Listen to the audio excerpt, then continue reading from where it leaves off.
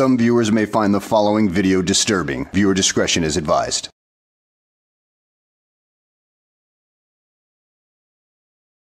Well, hello and welcome back to the channel. In today's video, we will be taking a look at a video that Cammed Up Caveman put up recently. You know, because this is the second time since I've been on here that uh, he has attempted to remove me somehow off of YouTube, and this is probably the more pathetic one. I can understand the false copyright strike, but now posting videos that are of me uh, off of my uh, Facebook page, I mean, come on. So we'll take a look at these pictures that he's posted of me on his page. And you guys can travel down memory lane with me as well. So sit back, relax, and enjoy the show. Okay, I've removed the sound portion of his video because I'm the one talking right now. So enjoy my voice as I explain each of these pictures to you. Most of it is just old footage from my other videos that he's trying to use against me, but it's really irrelevant. I really don't know who this kid is. Uh, can anybody tell me where this particular video came from? Because I sure as hell don't recognize it.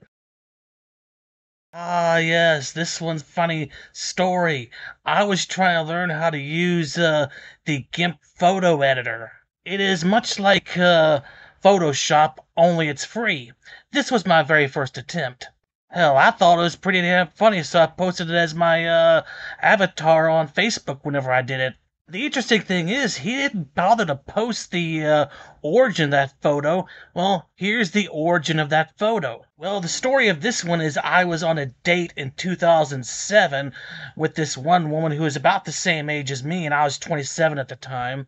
We hit it off pretty well, but due to it being a long distance relationship, it didn't last too long.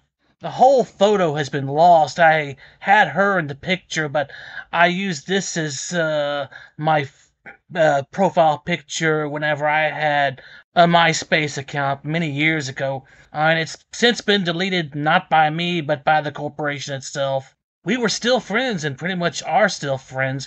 She was married for a few years after we were uh, together. Uh, until she got divorced, but still a long distance kind of thing wouldn't work out.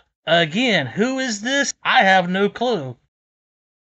Is this supposed to hurt me somehow?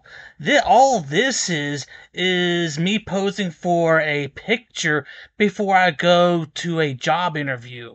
This had to have been taken back in, oh, 2017. I do believe I was trying to get a job at the uh, Florida Department of Children and Families. Oh, I remember that one. I read 200 or so pages of Florida law on children and family issues, but come to find out, I didn't need to read those things. Again, how is showing bits and pieces of my life supposed to hurt me? I am damn proud of the things that I have accomplished in my life. Let me tell you something. I was the least likely one in my family to even go to college. I was misdiagnosed with a learning disorder and had to go through uh, special education classes, even though it was not necessary, and that was proven years later. I graduated high school with a special diploma in 1999 as a result of that. I got my GED in 2002. I worked at Walmart for years before I went back to college and got my uh, associate's degree in 2014 and graduated from Florida State University in 2017. You presented this as if it's something that I should be ashamed of.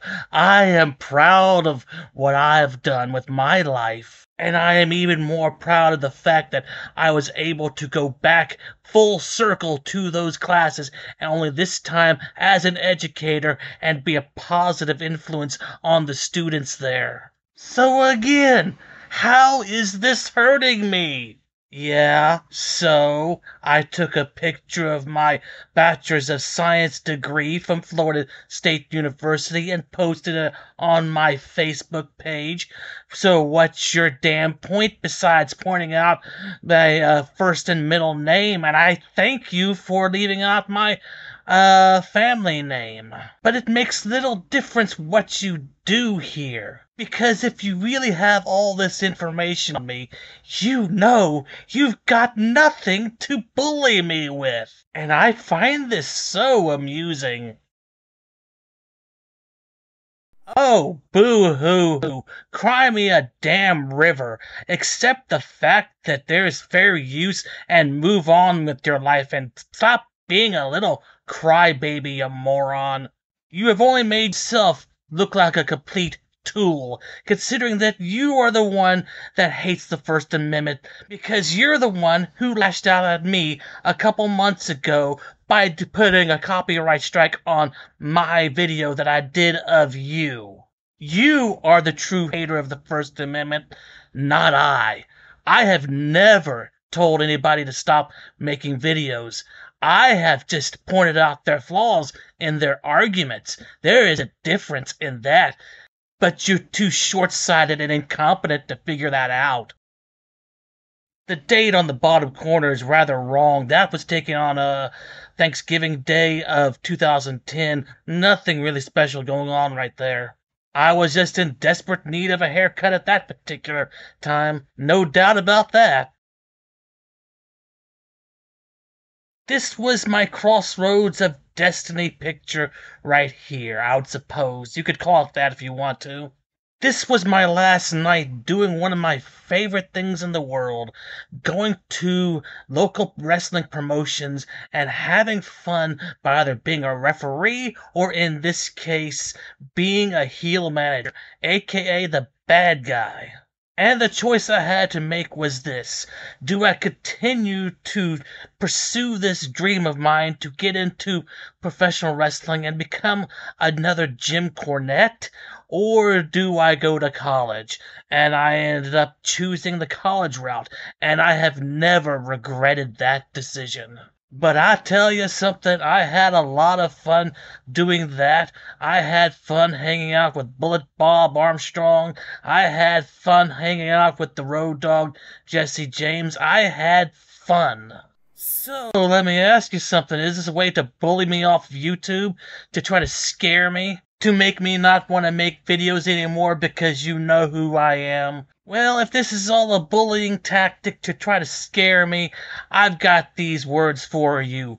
Grow up, dude! If you've got such a thin skin that you can't take the slightest bit of criticism, then is YouTube really the place for you?